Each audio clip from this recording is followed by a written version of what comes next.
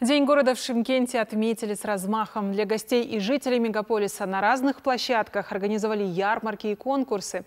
Завершением стал яркий концерт с участием артистов отечественной эстрады. В этот день запустили и десятки салютов. На главной площади Шимкента отметили День города. Этот праздник жители очень ждали. Послушать любимых исполнителей собрались почти 10 тысяч зрителей. Поздравить горожан приехали звезды отечественной эстрады. Шимкент знают везде. Вот я, например, из своего опыта а, много где побывал, в том числе и за границей, в странах СНГ. Например, а, если не могу вспомнить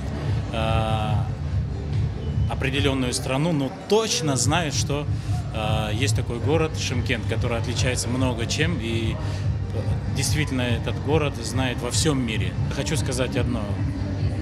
Э, Жасасын Шимкент, Жасасын Казахстан. Шимкент – самый молодой мегаполис страны. Свой статус он получил 4 года назад. Именно тогда здесь родился первый миллионный житель. Город знают и за пределами Казахстана. В последнее время он является привлекательным для иностранных туристов. Развивается и инфраструктура. Шимкент славится своим гостеприимством и вкусной кухней. Поздравляем город с праздником. Желаем ему процветания. Мы любим Шимкент. Я приехала из Экипастуза. Мне Шимкент очень нравится. Красивый город.